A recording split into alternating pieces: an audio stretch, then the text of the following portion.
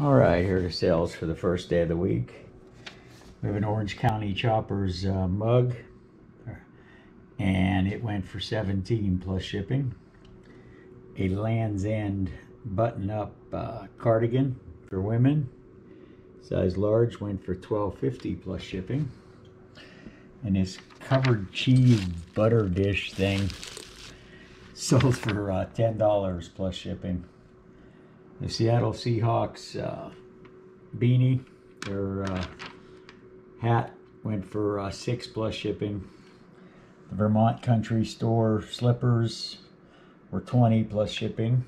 The funny uh, taco coffee mug was $10 plus shipping. Under Armour, uh, them compression fitted uh, turtleneck went for 12 plus shipping. The Hollister California Malibu went for 10 plus shipping and Everything Burns CD audiobook went for 5 plus shipping. So that is the sales for the first day of the week and we'll pick up tomorrow. All right, these are the final sales of the week before we head off on an Indiana thrifting trip.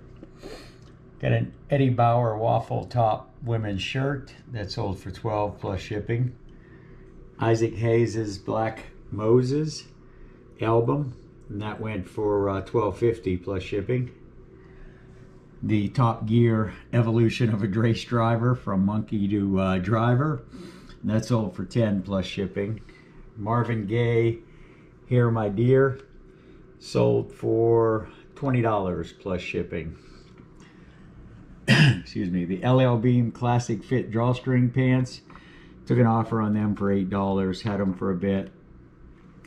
The In Concert with Charley Pride was one of them ones I got and uh, already made it back on the first two I sold, so these are all bonuses. Took an offer for 450 on that. The UGG, these were bins find. They went for uh, women's shoes, I believe, went for uh, 19 plus shipping. This purse was also a bins find. It went for $25 plus shipping. It's new with tags. Uh, yeah, Burton. And this shirt is the Unit, the Art of Pro Progress t-shirt, a motto eating Froot Loops. And I think Peggy told me I would never sell this. And it went for $13 plus shipping. So that is the final sales for the week. Hopefully we'll get some videos of some good thrifting. There's a bin right outside of Louisville that's actually on the Indiana side. We're going to hit that and probably some places on the way and some in Lawrenceburg and some more down in southern Indiana. So everybody have a great week and uh, talk to you soon.